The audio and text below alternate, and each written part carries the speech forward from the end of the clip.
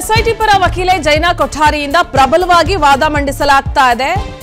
ರೇವಣ್ಣ ಪರ ಹಿರಿಯ ವಕೀಲ ಸಿವಿ ನಾಗೇಶ್ ಮಂಡಿಸಿದ್ದಕ್ಕೆ ಕೌಂಟರ್ ಅಟ್ಯಾಕ್ ಕೊಡ್ತಾ ಇದ್ದಾರೆ. ಆರೋಪಿ ಪ್ರಜ್ವಲ್, ಪೆನ್ ಡ್ರೈವ್ ಪ್ರಕರಣ ಸಂಬಂಧಪಟ್ಟಾಗೆ ನನಗೆ ಸಮಯ, ಸ್ವಲ್ಪ ಸಮಯಾವಕಾಶ ಕೊಡಿ ಅಂತ ಕೇಳುತ್ತಿದ್ದಾರೆ ಎಸ್ಐಟಿ ಪರ ವಕೀಲೆ ಜೈನಾ ಕೊಠಾರಿಯಿಂದ ಪ್ರಬಲವಾದ ವಾದ ಮಂಡನೆ ಆಗ್ತಾ ಇದೆ.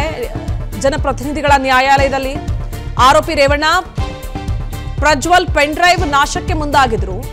ನನಗೆ ಸ್ವಲ್ಪ ಸಮಯಾವಕಾಶ ಕೊಡಿ ಅಂತ ಕೇಳ್ತಿದ್ದಾರೆ. ಈಗ ಆಲ್ರೆಡಿ ಸಾಕಷ್ಟು ಸಮಯಾವಕಾಶವನ್ನ ನೀಡಿ ಆಗಿದೆ ಅಂತ ಹೇಳಿದ್ರು ವಕೀಲರು. ಈಗ ಮತ್ತೆ ಅವರು ಅದನ್ನೇ ಕೇಳ್ತಾ ಇದ್ದಾರೆ. ಸ್ವಲ್ಪ ಸಮಯಾವಕಾಶವನ್ನ ಕೊಡಿ. ಎಸ್ಐಟಿ ಪರ ವಕೀಲೆ ಜೈನಾ ಕೊಠಾರಿ ಪ್ರಬಲವಾದ ವಾದ ಮಂಡಿಸುವ ಸಂದರ್ಭದಲ್ಲಿ ಆರೋಪಿ ರೇವಣ್ಣ, ಪ್ರಜ್ವಲ್ ಪೆನ್ ಡ್ರೈವ್ ನಾಶಕ್ಕೆ ಮುಂದಾಗಿದ್ರು. ನನಗೆ ಸ್ವಲ್ಪ ಸಮಯಾವಕಾಶವನ್ನ ಕೊಟ್ರೆ ನಾನು ಎಳೆ ಎಳೆಯಾಗಿ ನಿಮ್ಮ ಮುಂದೆ ವಾದವನ್ನ ಮಂಡಿಸ್ತೀನಿ ಅಂತ ಅವ್ರು ಹೇಳ್ತಿದ್ದಾರೆ. ಆರೋಪಿ ಸಾಕ್ಷಿಯ ಮೇಲೆ ಹೇಗೆಲ್ಲ ಪ್ರಭಾವ ಬೀರಿದ್ದಾರೆ ಅನ್ನೋದನ್ನ ನಿರೂಪಿಸ್ತೀನಿ ಅಂತ. ಎಸ್ಐಟಿ ಪರ ವಕೀಲೆ ಜೈನಾ ಕೊಠಾರಿ ಈ ಮಾತನ್ನ ಹೇಳ್ತಾ ಇದ್ದಾರೆ. ಆರೋಪಿ ರೇವಣ್ಣ ಪ್ರಜ್ವಲ್ ಪೆನ್ಡ್ರೈವ್ ನಾಶಕ್ಕೆ ಮುಂದಾಗಿದ್ರಲ್ಲ? ಇದ್ರ ಬಗ್ಗೆ ನನಗೆ ಸ್ವಲ್ಪ ಸಮಯ ಅವಕಾಶವನ್ನು ಕೊಡಿ. ನಾನು ಅವರು ಹೇಗೆಲ್ಲ, ಅಂದ್ರೆ ಆರೋಪಿಯ ಸಾಕ್ಷಿಯ ಮೇಲೆ ಹೇಗೆಲ್ಲ ಪ್ರಭಾವ ಬೀರಿದ್ದಾರೆ ಆರೋಪಿ ಅನ್ನೋದನ್ನ ನಿರೂಪಿಸ್ತೀನಿ ನಾನು. ಸ್ವಲ್ಪ ಸಮಯಾವಕಾಶವನ್ನು ಕೊಡಿ ಅಂತ ಕೇಳ್ತಿದ್ದಾರೆ.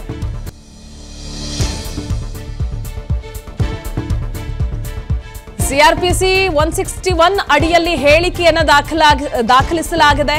ಸಂತ್ರಸ್ತೆ ಹೇಳಿಕೆಯನ್ನು ಪಡೆಯಲಾಗಿದೆ. CrPC section one sixty one ಅಡಿಯಲ್ಲಿ ಹೇಳಿಕೆ ದಾಖಲಿಸಲಾಗಿದೆ. ಇಲ್ಲಿ ಸಂತ್ರಸ್ತೆ ಹೇಳಿಕೆಯನ್ನು ದಾಖಲಿಸಲಾಗಿದೆ. ಆಗ್ಲೇ ರೇವಣ್ಣ ಪರ ವಕೀಲ ಸಿ ವಿ ನಾಗೇಶ್ ಕೇಳ್ತಾ ಇದ್ರು. ಸಂತ್ರಸ್ತೆಯನ್ನ ಗಾಯ ಆಗಿದೆ ಅಂದ್ರಿ, ಮೆಡಿಕಲ್ ಟೆಸ್ಟ್ ಮಾಡಿಸಿದ್ರ, ನ್ಯಾಯಾಧೀಶರ ಮುಂದೆ ಯಾಕೆ ಹಾಜರುಪಡಿಸ್ಲಿಲ್ಲ? ಆಕೆಯನ್ನ ವಿಚಾರಣೆ ಮಾಡಿದ್ದೀರಾ? ಅದು ಕೂಡ ಇಲ್ಲ.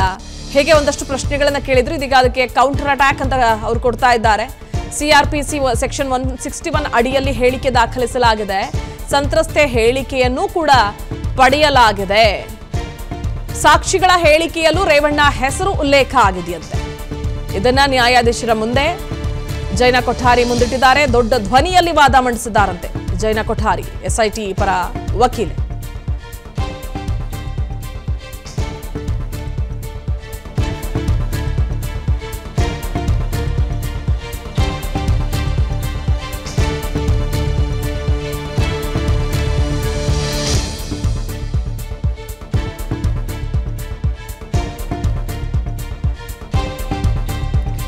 CrPC section one sixty one ಅಡಿಯಲ್ಲಿ ಹೇಳಿಕೆ ದಾಖಲಿಸಲಾಗಿದೆ. ಸಂತ್ರಸ್ತೆ ಹೇಳಿಕೆಯನ್ನು ಪಡೆಯಲಾಗಿದೆ.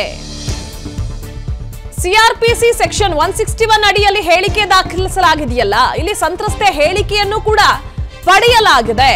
ಅನ್ನೋದನ್ನ ಬಹಳ ಏರು ಧ್ವನಿಯಲ್ಲಿ ವಾದ ಮಂಡಿಸೋದ್ರ ಮೂಲಕ ಜೈನಾ ಕೊಠಾರಿ ಮುಂದಾದ್ರು.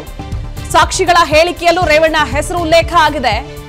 ದೊಡ್ಡ ಧ್ವನಿಯಲ್ಲಿ ವಾದ ಮಂಡಿಸಿದ್ರು. ಎಸ್ಐಟಿ ಪರ special public prosecutor Jaina Kothari ಅವರು. ಮಹಾಸ್ವಾಮಿ, ಇದು ಸ್ಪಷ್ಟವಾಗಿ ಕಿಡ್ನಾಪ್ ಮತ್ತು ಒತ್ತೆಯಾಳಾಗಿ ಇರಿಸಿಕೊಂಡ ಪ್ರಕರಣ. ಸಂತ್ರಸ್ತೆ ಪುತ್ರನ ದೂರಿನಲ್ಲಿರುವುದೆಲ್ಲ ಸತ್ಯ. ಜೈನಾ ಕೊಠಾರಿ ಅವರ ವಾದ.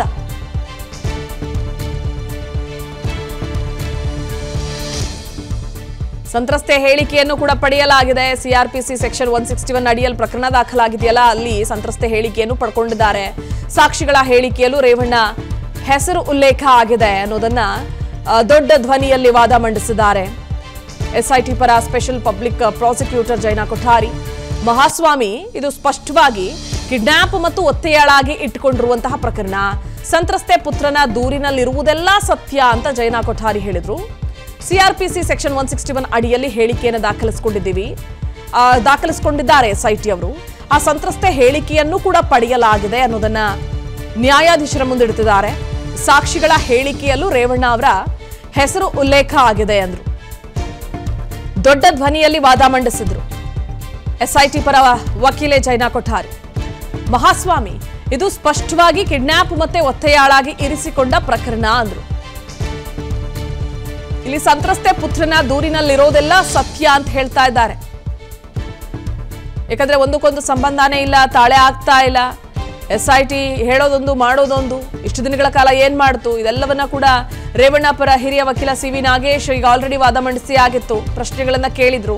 ಅದಕ್ಕೆ ಇದೀಗ ಕೌಂಟರ್ ಅಟ್ಯಾಕ್ ಅನ್ನೋ ರೀತಿಯಲ್ಲಿ ಎಸ್ ಐ ಟಿ ಪರ public special public prosecutor Jaina Kothari ಅವರು ವಾದ ಮಂಡಿಸ್ತಾ ಇದ್ದಾರೆ.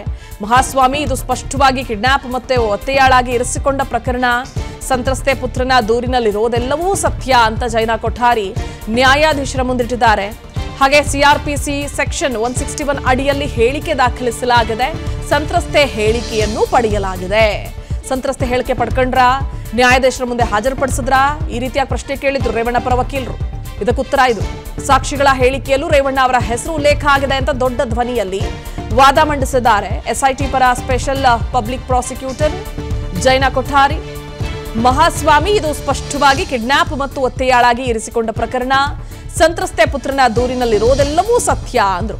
ಇನ್ನು ಎಸ್ಐಟಿ ಪರ ವಾದವನ್ನ ಆಲಿಸ್ತಾ ಇದ್ದಾರೆ judge S G Bhat. SIT ಪರ ವಾದ ಮಾಡ್ತಾ ಇದ್ದಾರೆ, ಅದನ್ನ ಆಲಿಸ್ತಾ ಇದ್ದಾರೆ judge S S G Bhat. ಪ್ರಕರಣದ ಸೂಕ್ಷ್ಮತೆಯನ್ನ ಆಲಿಸ್ತಾ ಇದ್ದಾರೆ ನ್ಯಾಯಮೂರ್ತಿಗಳು.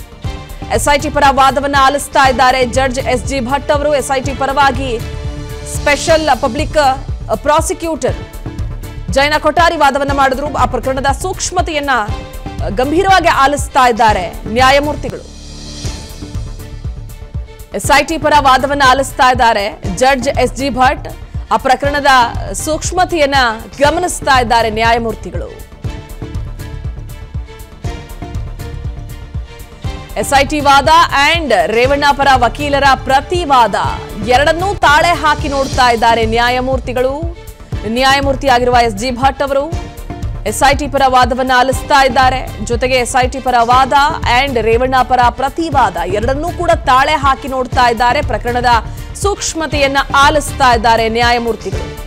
ಎಸ್ಐಟಿ ವಾದ ಆಗಿರಬಹುದು, ಜೊತೆಗೆ ರೇವಣ್ಣ ಪರ ವಕೀಲರ ಪ್ರತಿವಾದ ಏನಿದೆ? ಎರಡನ್ನೂ ತಾಳೆ ಹಾಕಿ ನೋಡ್ತಾ ಇದ್ದಾರೆ. ಸದ್ಯದಲ್ಲಿ ನಿರ್ಧಾರವಾಗುತ್ತೆ ರೇವಣ್ಣಗೆ ಬೇಲ ಅಥವಾ ಜೈಲ? ರೇವಣ್ಣ ಬೇಲ್ ಭವಿಷ್ಯ ನಿರ್ಧಾರ ಆಗುತ್ತೆ.